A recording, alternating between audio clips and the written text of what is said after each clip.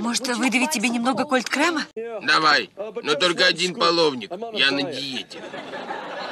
Это для твоего носа. Я как раз и пытаюсь похудеть носом. Альф, я говорю о кольт-креме, а не о мороженом. Ты так говоришь, как будто это две разные вещи.